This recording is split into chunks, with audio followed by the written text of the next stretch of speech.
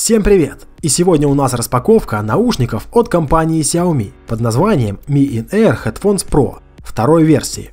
Наушники поставляются в небольшой коробке белого цвета. На передней стороне через прозрачный пластик видны сами наушники. На левой стороне имеется логотип Mi. С правой стороны аналогично располагается логотип Mi.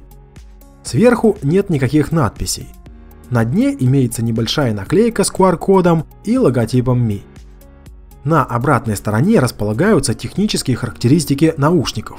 Тип внутриканальные, вес 14 грамм, тип разъема 3,5 мм, длина кабеля 1 метр 25 см, номинальная мощность 5 мВт, чувствительность 100 дБ, частотный диапазон от 20 до 20 тысяч Гц, импеданс сопротивления наушников 32 Ома. Здесь же мы видим название модели Mi In-Air Headphones Pro 2 цвет наушников черный, а также прочая не очень важная для нас информация. Ну что же, давайте теперь откроем коробку и посмотрим, что лежит внутри.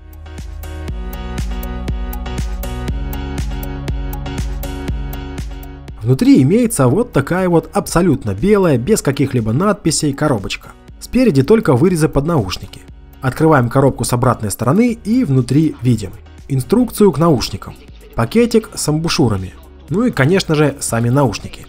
Итого, имеем вот такой комплект. Инструкция, сменные амбушюры, ну и, наконец, сами наушники. Вот так выглядит инструкция.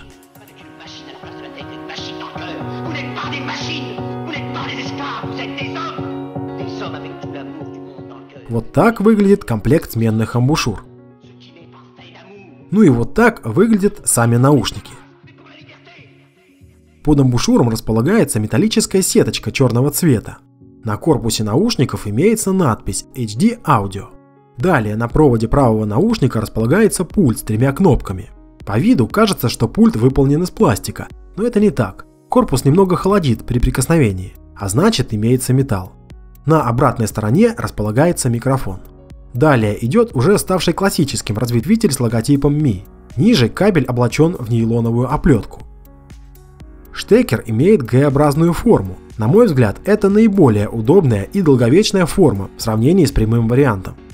Ну что же, вот такие вот прикольные наушники были сегодня у нас на распаковке. Более подробно о гарнитуре, опыте их эксплуатации я расскажу уже в обзоре. А на сегодня у меня все.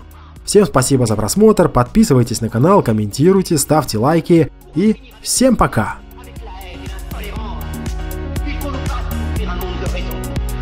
la science et le